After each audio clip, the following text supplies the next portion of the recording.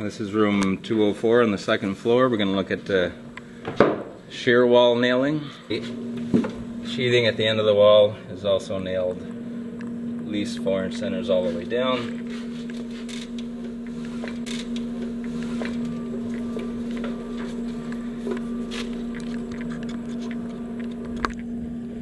You can see here that the lag bolts have been installed where the Nelson studs were close to the edge of the plate.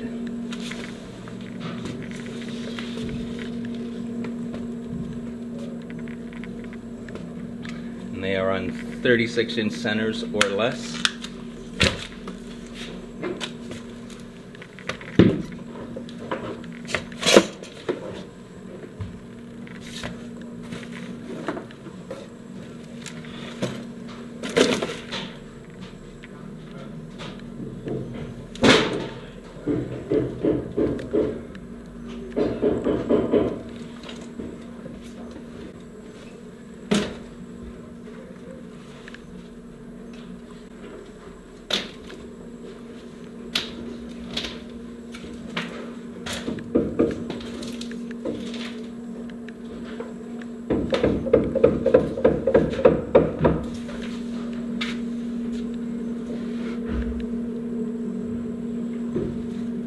Horizontal and vertical joints in the plywood, at least on four inch centers.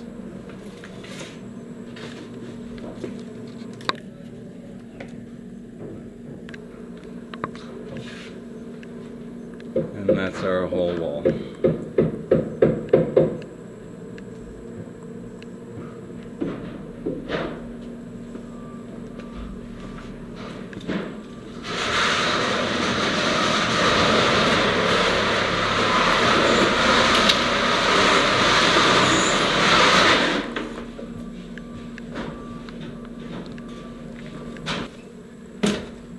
So in the field of the plywood, the requirement was uh, 10 inch centers, and we can see that there's uh, it's a lot less than 10 inch centers. So there's more nails than required in the in the field.